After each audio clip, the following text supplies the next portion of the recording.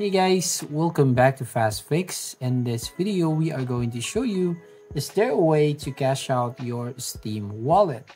Well, currently, Steam doesn't have that feature to cash out from your wallet.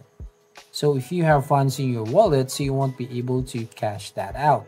But we have other way here on how you can use your funds on Steam wallet. And basically, that is by buying the other games in your account and give it to other people. So to do that, you'll be using the website which is g2g.com. So we're going to open up your internet browser here and search for g2g.com. Well, basically, the first thing that you can do here is create an account with this website. Now, once you've done creating your account, as you can see, you can now go to the homepage and basically click on the sell button right there at the top right of your screen.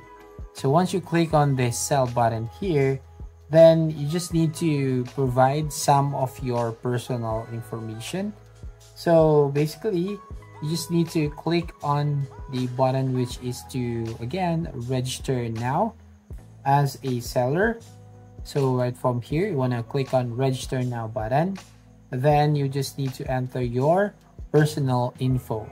So you can sign up as a merchant which you'll be selling services or games or accounts on G2G. So you just need to complete the whole process and start selling. So if you are going to your Steam app, here you can search for the game that you want to sell. If you're going back to the search box at the top, for example, I just want to search for EA Sports FC 24 and from here you'll find or you'll view the price for that game.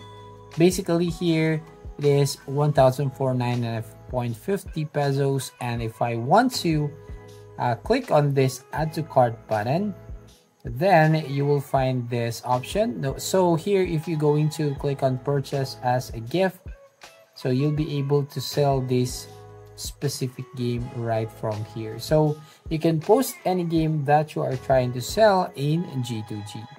So that's it. That's how you basically use your cash on Steam wallet. So if you find this video helpful, please consider to like and subscribe to this channel and don't forget to hit the notification bell to notify you on the next video.